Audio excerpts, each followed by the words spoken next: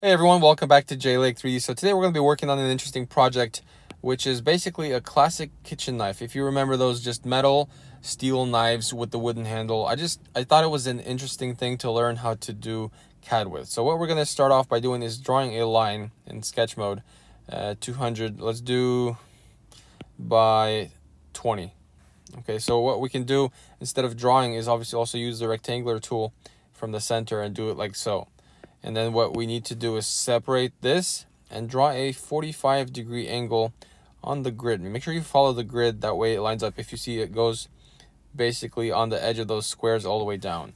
So we also need to separate the blade from the handle. So what we're going to do is move it across there. And now what we need to do is draw the circles for uh, the pins that go inside. So at this point, just make it like so on equally on both sides. And then what we can do is select all three of those and click the equal constraint and then just change one to five. That way they're kind of centered there as we're going along. So what we do now is extrude the blade. Let's extrude that by well we can do 0.5 and then adjust so we have it kind of in the middle. So let's um, let's go ahead and select it from the bottom click isolate. So we hide the sketch away for a second and make it one millimeter across. Okay, we can turn isolate off so we have our sketch there. And uh, first of all, we need to fillet this, even though it's not the end, but this is kind of the process for the blade, right? So fillet it depending on how much you want. I think 50 in this case looks pretty good. And then what we can do is chamfer those edges to start. And remember we had one, so we do negative one because negative makes chamfer and positive makes fillet. So we have negative one for the for the chamfer. And as you can see, it sharpened the correct parts. And next we just click two more edges again. And this time we fillet. And when you when you chamfer first, you can fillet it pretty far compared to how you usually can. So let's do 25 in this case. I think it's a good number. It's already starting to look like a knife, right? So this is pretty cool. And uh, once we have that complete, we can sort of go ahead and extrude our pins and make sure they're a new body. And we want those to be let's see uh, let's make them 2.5 from this side and then we want to make them 5 from this side. So let's select those bottom faces and then drag them out and then choose 5 so it's equal on both sides okay? And uh, you can say it's a bit premature but I think it's the right time for this all right, next we can go and extrude the handle. I think we should isolate the sketch. And we can do that by selecting those two sketches and going down by, let's do 2.5. And then turn isolate off and isolate now the handle and change that to 5. I mean, we could have just mirrored it, etc. There's so many ways to do it. You're not stuck using one way, but this is just how I like to do it. Now for the handle, since we have this square frame to work with, we're not actually manufacturing this just yet, so we can still edit it as we go. But let's go ahead and sketch with a spline here. Starting from not the very front, I want to get off of there for about five millimeters and then start my spline. So let's make an interesting edge there. So one heavy click does kind of uh, adds a, a point, so we can do that and then we can adjust them as necessary. And basically this is not yet how I want it. And I think I want to add one more point here. Or we can just adjust this if we want. Yeah, actually that works if we do it this way. I think that's a nice shape. So as you can see here we need to subtract this part. So we just extrude that down. And we need to add a little part here so if you notice here, we have the blade over there, and typically that's cut to the shape of the knife.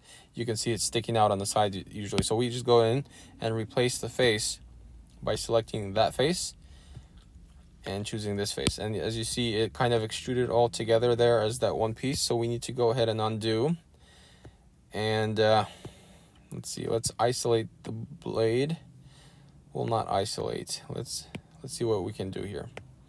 We need to hide this object and then we can go in and tools replace face with that so then the blade goes all the way out there and it's held in place properly and then unhide our body and we can simply copy this over, click copy, and put it down by three millimeters.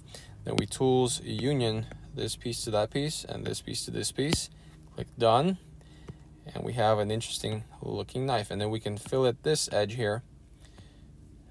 Did I select something wrong there? Not sure. Let's try one more time. Too complicated. That's new. Okay, so what I think what's going on here is we need to subtract from this body, this body, and I think now it should let us, yeah, so as you see it was connected there at some point, so we can go in and fillet that. And that's a bit too much. Let's go a little sharper at 2.5. And I think that's much better. So let's go ahead and do the same thing to the blade now that we've decided what we want. And I think at this point we can go in and start changing the colors just so we can see what we're working with. Let's go ahead and hide the sketches. Then go into visualization, choose the handle, and let's change that to a wood material. Let's say um, I believe there was bamboo here, which I liked. There we go. And then for everything else, we can choose steel, which is in the metals and towards the bottom. I don't know why they put it on the bottom. We use it so often, but there it is right there. So the pins and the blade are steel in this case, shiny. I like it. Uh, but as you can see, our knife is turning out quite beautiful. And even though it's simple, and it's just like I said, one of those classic ones where you can see the metal right inside. So this is a fun little project to learn CAD with. And we can add one more thing, I think, is basically the fillet or the chamfer, depending on what you want. You don't have to select all the edges, but typically you might miss one and then it might do something weird. So that depends on your needs. But we can go in now, and even the front, I think, could use it. We can chamfer it like so. I think that looks a little bit off. So let me make it smaller by a bit. So negative one, there we go, that looks better. And then alternatively, you can also select it and choose the chamfer fillet tool from the side here. But as you can see, it selects those edges as well. And we don't want that. So sometimes it's not the best process, but as long as it works. So let's go negative one is the chamfer and then the positive would be the fillet. Just make sure that everything did it correctly. And then to finish it off, what we can do is select both of these and now use the chamfer fillet tool and do a fillet of one. So as you can see, those pins there also got it. But in this case, we can just go in and it's easier to just select those and click delete than going around and selecting all those edges like we did previously. So it really depends on the use case, but it's cool that we have all these tools at our disposal. So now that we have that complete, this is basically it. Let's go and see in visualization our knife. Okay, let's just look at it. Ah, that's amazing. This is actually basically ready for manufacturing. And it's a beautiful piece. Hope you guys enjoyed the tutorial. If you have any questions, comment down below, and I'll see you guys in the next one. Bye-bye. Here at J-Lake 3D, our goal is to inspire and empower you to create your own amazing projects. Please support our work so that we can keep doing it. Don't forget to like, share, and subscribe to see more.